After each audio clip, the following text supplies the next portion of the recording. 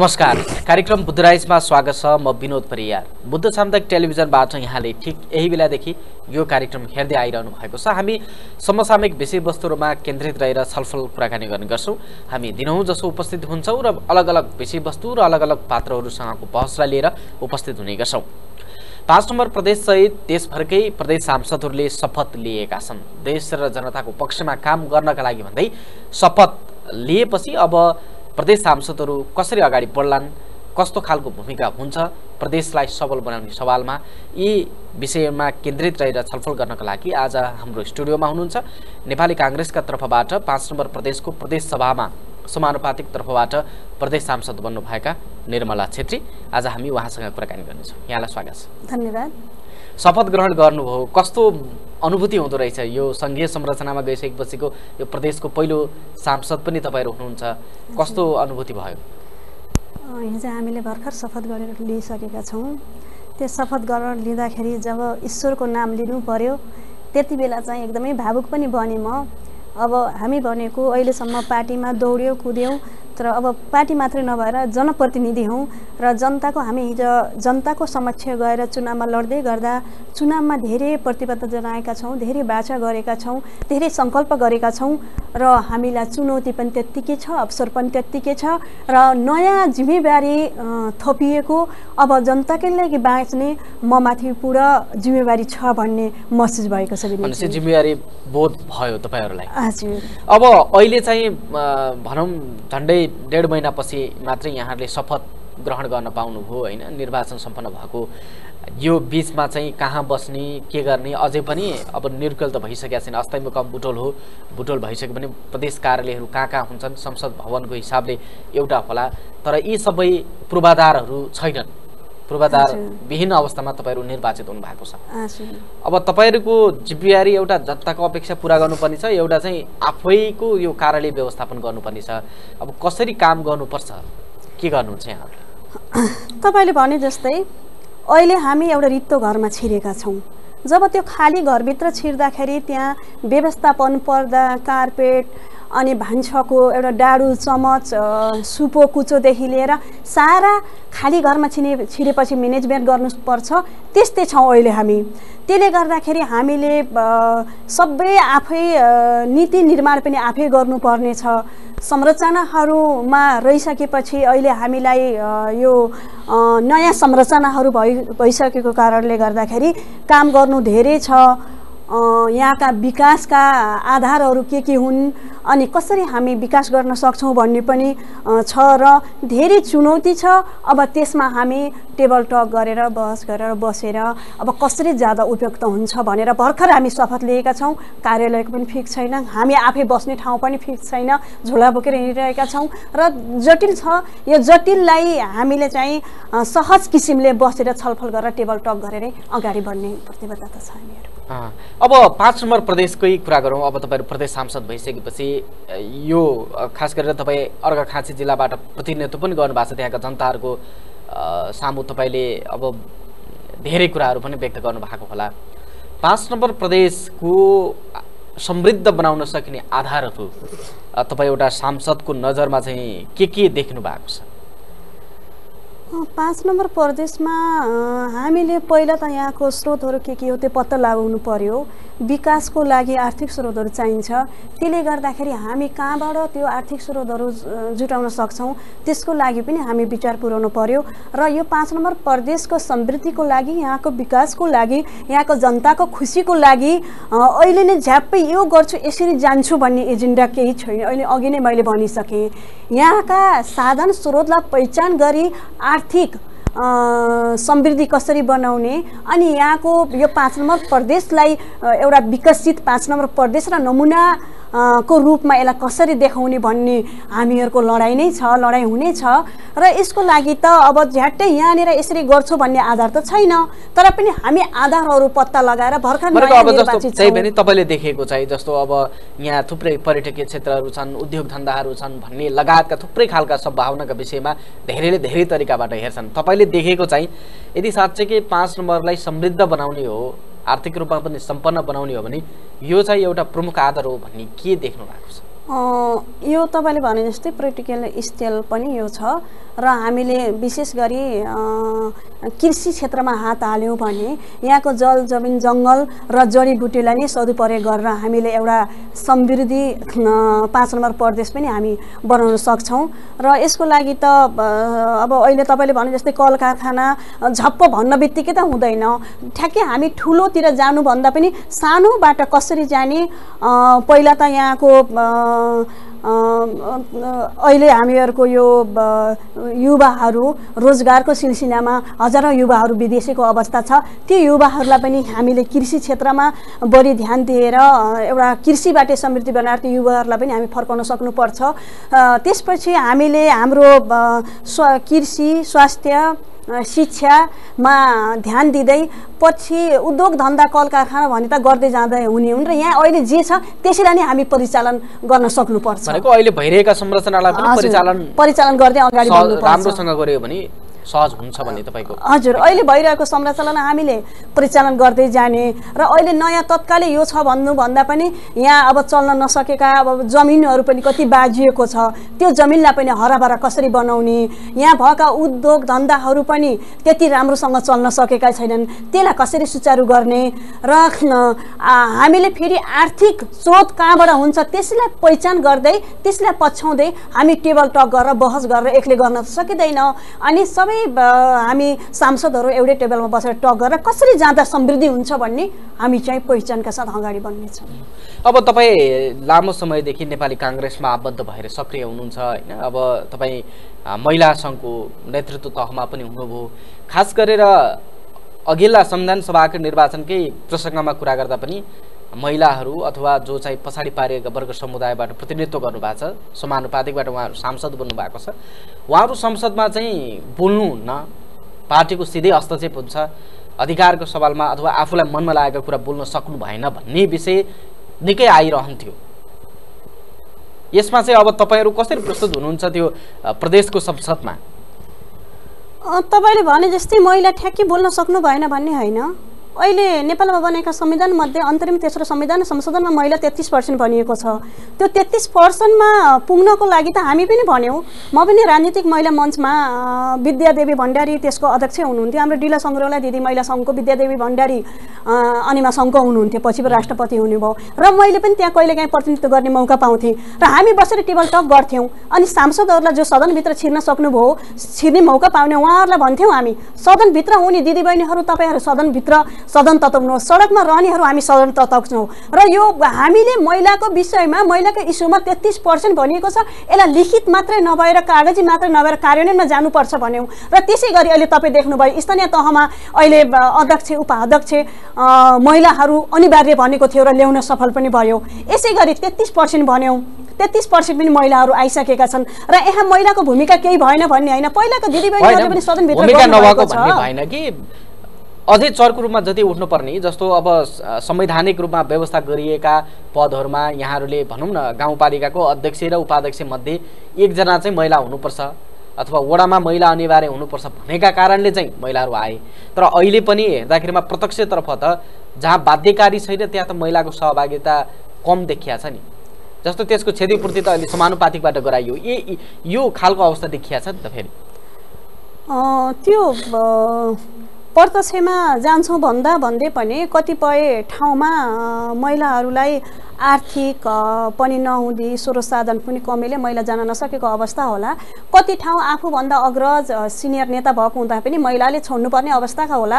र हामीले लागेको थियो समानुपातिको महिला जाँदा पनि क्षतिपूर्ति सहित तेत्तिस पर्सेन्ट अनिवार्य महिला भन्ने लागेको थियो। त्यसै गरी आज सबै पार्टीले दिएको छ। आज पाँच नम्बर प्रदेशको कुरा गर्दै गर्दा नेपाली काङ्ग्रेसको कुरा गर्दै गर्दा अहिले हामी बाह्रजना समानुपातिक मध्ये सातजना पाँचजना पुरुष हुनुहुन्छ छजना महिलालाई दिएको छ। तेत्तिस पर्सेन्ट नेपाली काङ्ग्रेसले पनि पुऱ्याएको छ। अब हाम्रो चुनौती पनि छ अवसर पनि छ काम गर्ने र हामी गरेर देखाउँछौँ भन्ने पनि हिजोको शपथले तपाईँ देख्नुभयो होला तपाईँहरू पनि जानुभएको थियो। हामीले शपथ लिइसकेका छौँ। र अब हामी हामी चाहिँ महिलाको क्षेत्रमा विशेष महिलाको क्षेत्रमा ध्यान दिँदै अब यो पाँच नम्बर प्रदेशको समृद्धिको लागि पहल पनि गर्नेछौँ। र तपाईँको प्रश्नमा महिलाहरूको भूमिका त्यहाँ रहेन भन्ने यो गुनासो चाहिँ हामी दिँदैनौँ। भनेपछि अब जसरी संविधान सभामा महिलाहरू कम बोले कि भन्ने थियो। त्यो चाहिँ अब यो पाँच नम्बर प्रदेशमा चाहिँ हुँदैन। हामी त्यसरी विश्वास गरौँ। त्यो हुँदैन महिलाको बहुमत पनि छ।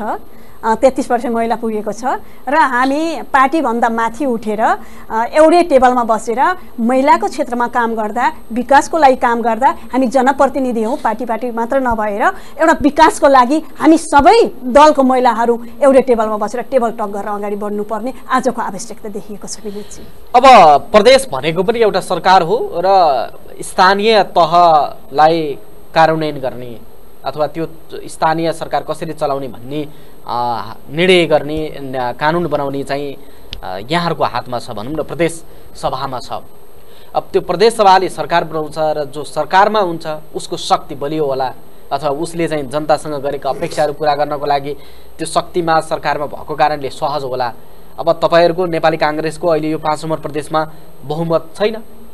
त्यो हिसाबले अब जनताको अपेक्षा चाहिँ सरकारमा नहुँदा पनि कसरी पुरा गर्नुहुन्छ? तपाईँले भने जस्तै हो त्यो अहिले हाम्रो बहुमत छैन। हामी सरकारमा पनि रहँदैनौँ। हामी प्रतिपक्षी हौँ। प्रतिपक्ष बस्दै गर्दा पनि हामीले पनि हेर्नुपर्छ जनताको मन जितेर विपक्षीहरूले धेरै सिट लिएर उनी उहाँहरूले जित्नु भएको छ भने अब उहाँहरूले पनि काम गरेर देखाउनु हुनेछ उहाँहरूलाई पनि त्यत्तिकै चुनौती छ। क्रम हुन्छ। पहिला माओवादी पार्टी चौसठीमा पहिलो बनेको थियो। सत्तरीमा नेपाली काङ्ग्रेस पहिलो बनेको थियो। अब फेरि जनताले अहिले एमालेलाई पहिलो बनाएका छन् र त्यति बेला नेपाली काङ्ग्रेसले धेरै विकासका कामहरू गरेको छ। तपाईँ हेर्नुभएको छ स्थानीय तह पनि अरू पार्टीले त चुनाव हुँदैन भनेको थियो। स्थानीय तहको पार्टी पनि स्थानीय तहको निर्वाचन पनि नेपाली काङ्ग्रेसले बनाएर गराएर देखाएको छ। अनि प्रदेश र प्रतिनिधि सभाको चुनाव पनि अहिले हुँदैन भनेको थियो। अरू दलले काङ्ग्रेसले त हुन्छ हुन्छ भनेको थियो। त्यो अहिले त्यो पनि सम्पन्न भइसकेको छ। अस्तिदेखि तपाईँ अस्ति पनि मिडियामा सुन्नुभयो होला। हामी हामीले शपथ खाँदैनौँ। यो प्रदेश प्रमुखहरू एमालेलाई तोक्नुभन्दा सरकारलाई जिम्मेवारी दियो सरकारले तोक्दा हामी शपथ खान जाँदैनौँ भनेर पनि विपक्षी पार्टीले भनेको अवस्था थियो र शपथ पनि खाइसक्नु भएको छ। र अब आएर हामी प्रतिपक्षमा बस्छौँ यदि उहाँहरूले नै नेपाली काङ्ग्रेस बिना हामी काम गर्न सक्दैनौँ यो ठुलो पार्टी हो ठुलो भूमिका छ र लामो इतिहास बोकेको छ त्यो हामीलाई त्यो अनुभव हामीभन्दा उहाँहरूलाई नेपाली काङ्ग्रेस पार्टीलाई ठुलो छ भन्ने दिन पनि अवश्य आउनेछ। र हामी भूमिका निर्वाह गर्नुहुन्छ। त्यो जनताको पक्षको। प्रतिपक्ष तपाईँहरू बन्नुहुन्छ। प्रतिपक्ष भनेर हामी बस्छौँ। त्यो काम गर्ने उहाँहरूले बाचाहरू दिनुभएको छ। त्यो बाचाहरू उहाँहरूले पुरा गर्न सक्नुहुन्छ कि सक्नुहुन्छ त्यो पनि हेर्छौँ र जनताकै पक्षमा रहेर हामी प्रतिपक्षको भूमिका चाहिँ खेल्नेछौँ। अब प्रदेश सभाकै हातमा धेरै कुराहरू छन्। प्रदेश समृद्ध बनाउनेदेखि लिएर प्रदेशको नीति नियमहरू बनाउने स्थानीय तहलाई कसरी चलाउने यी सबै जिम्मेवारी यहाँहरूको काँधमा छ। अब यो हुँदै गर्दाखेरिमा अब तपाईँहरूलाई अर्को जटिल प्रश्न पनि छ कि अब प्रदेश सभाको पहिलो बैठकले स्थायी मुकाम अथवा प्रदेशको केन्द्र कहाँ तोक्छ? अहिले त बुटोल छ अस्थायी केन्द्र। दाङ पनि हुनसक्छ कि भन्ने यो तमाम खालको एउटा व्याख्या विश्लेषण भइरहेको छ। यहाँहरूलाई पनि त्यो प्रश्न आम जनताले गरिरहेको होलान्। तपाईँ अब अर्घाजी भएको हिसाबले स्वाभाविक रूपमा बुटोल हो भनेर हामीले भन्न सक्छौँ। बुझ्दा हुन्छ? बुटोलमा धेरै संरचनाहरू पनि भएको हुँदा एउटा गौतम बुद्ध जन्मेको ऐतिहासिक गौतम बुद्धको जन्मस्थल पनि भएको हुँदा अन्तर्राष्ट्रिय विमानस्थल पनि भएको हुँदा र यो धेरै पुरानो बुटोल भएको हुँदाखेरि यहाँ राजधानी तोकिनु कुनै नौलो कुरो होइन।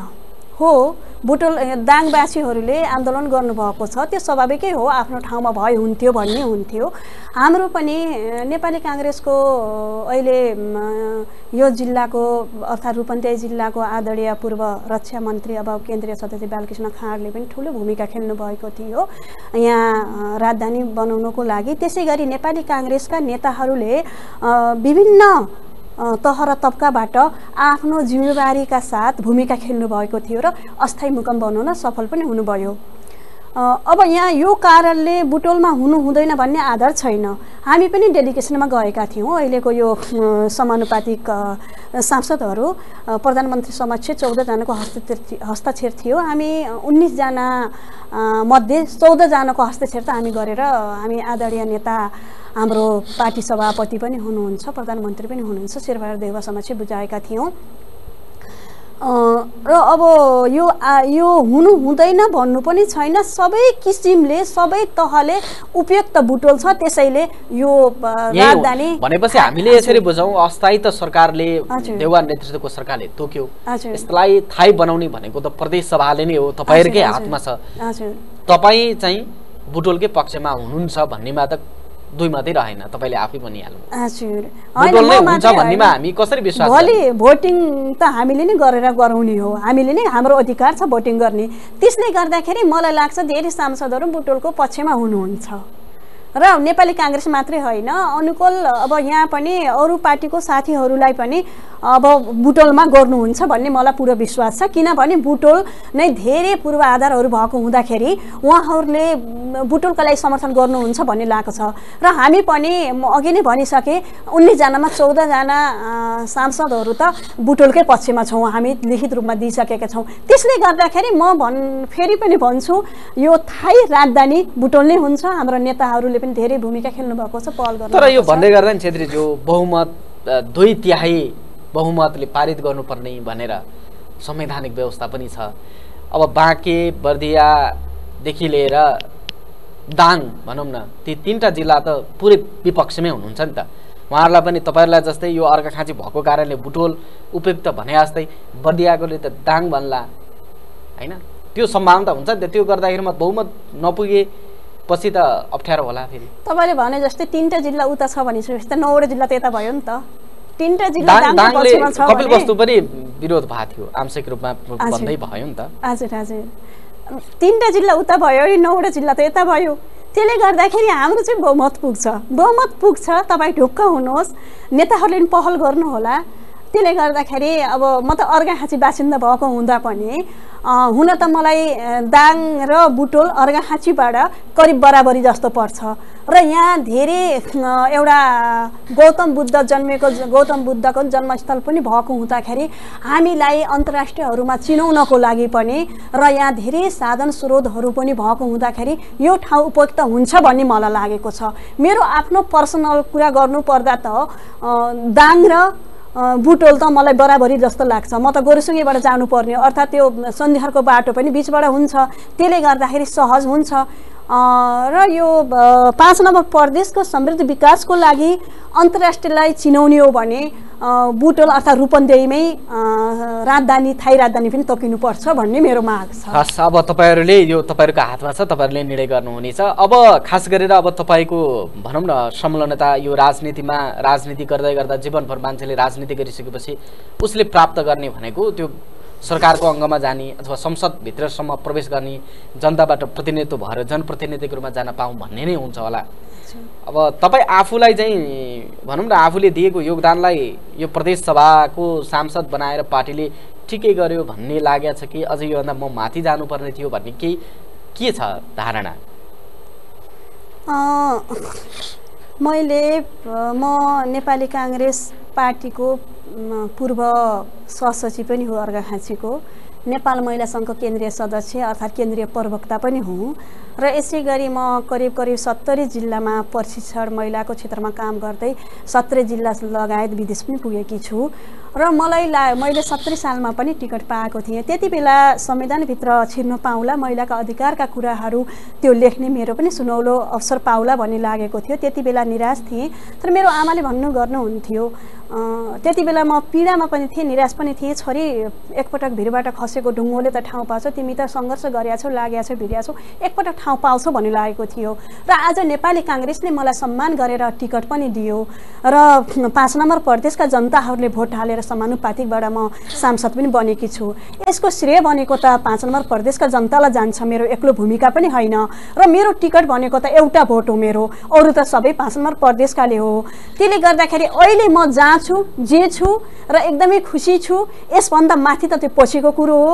म एकदम खुसी छु र मैले अहिलेसम्म गरेको लगानी मेरो त्याग र तपस्या मेरो पार्टीले हेऱ्यो पाँच नम्बर प्रदेशकोले बुझ्यो र यसमा म खुसी छु सन्तुष्ट छु।